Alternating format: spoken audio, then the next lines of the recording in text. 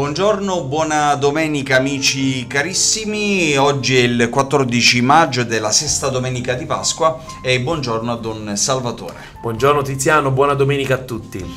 Allora, eh, adesso andiamo alla lettura del Vangelo. Io credo, Don Salvatore, oggi pomeriggio ci sia un'ordinazione sacerdotale. Sì, esattamente. Oggi a Monte Sant'Angelo alle ore 16 sarà ordinato presbitero Don Emanuele Granatiero, che in questo momento sta svolgendo il suo eh, servizio pastorale come diacono nella Chiesa Sacra Famiglia di Manfredonia. Ok, allora gli facciamo tanti auguri per questo suo nuovo diciamo, percorso.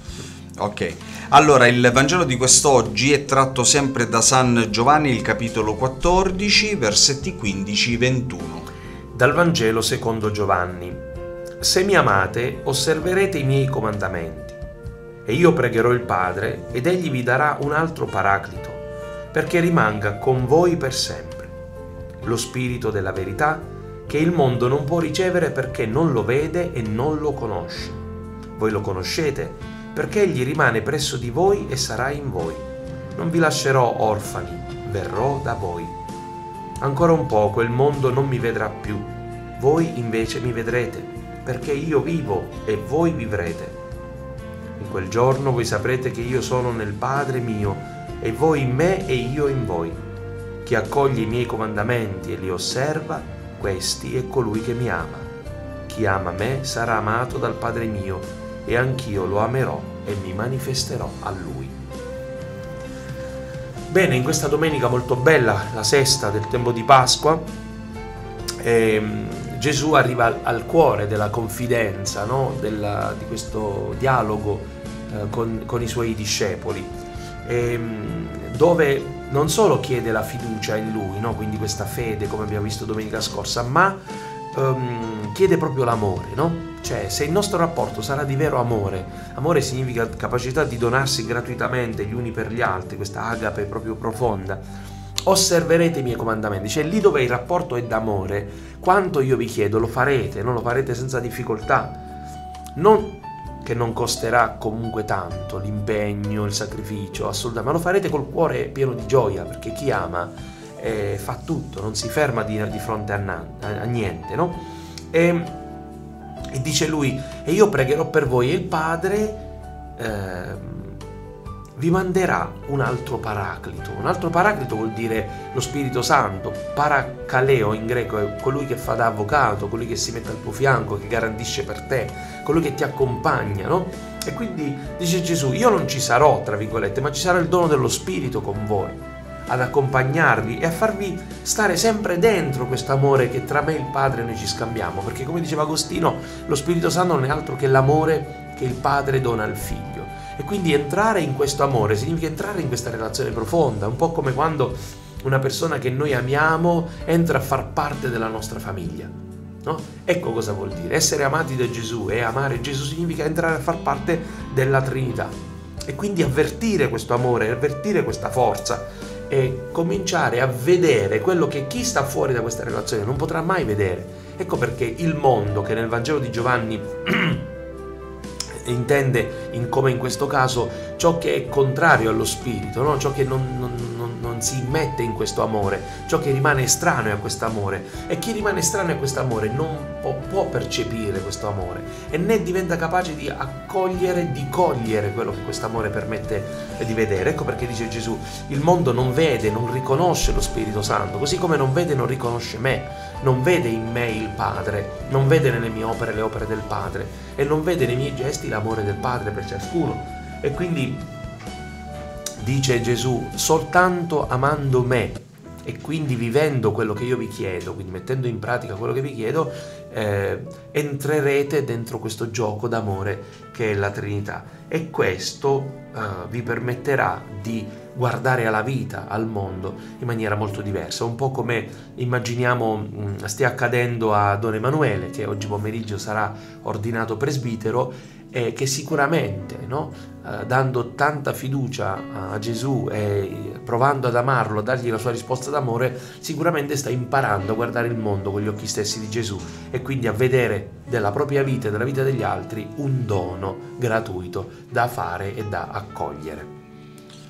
E... Ehm, proprio su questo Spirito Santo volevo chiederti perché sono anche un po' i commenti che ho sempre sentito in giro, però anche io qualche volta ho pensato a questa cosa qui.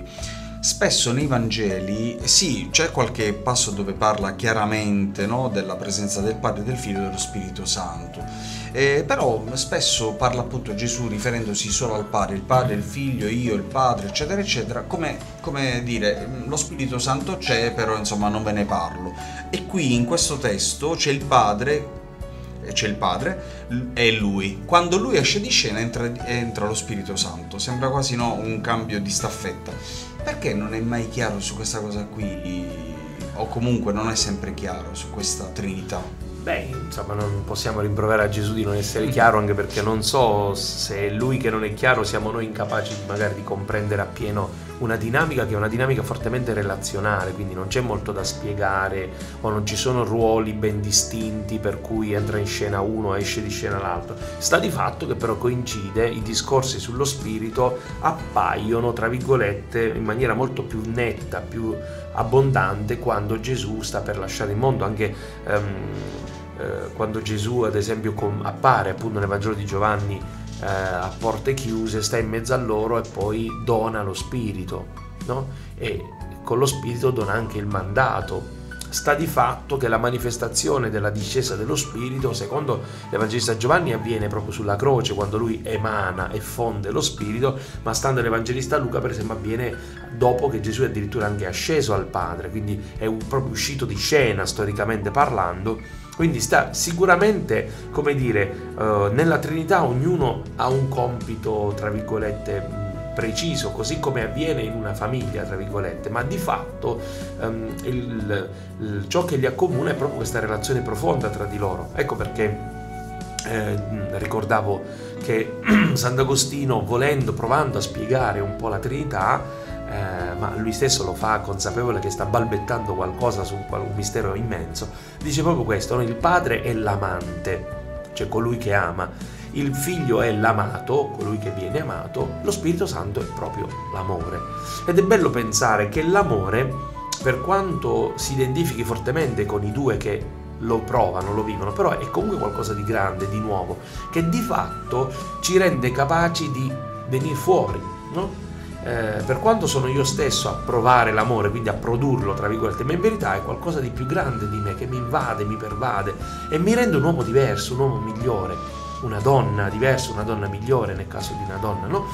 Quindi è vero che l'amore è qualcosa di profondamente legato a chi lo prova, però in verità ci accorgiamo anche che è un'esperienza, un sentimento più forte della persona stessa. Non a caso quando ci si innamora si può addirittura cambiare, migliorare, no?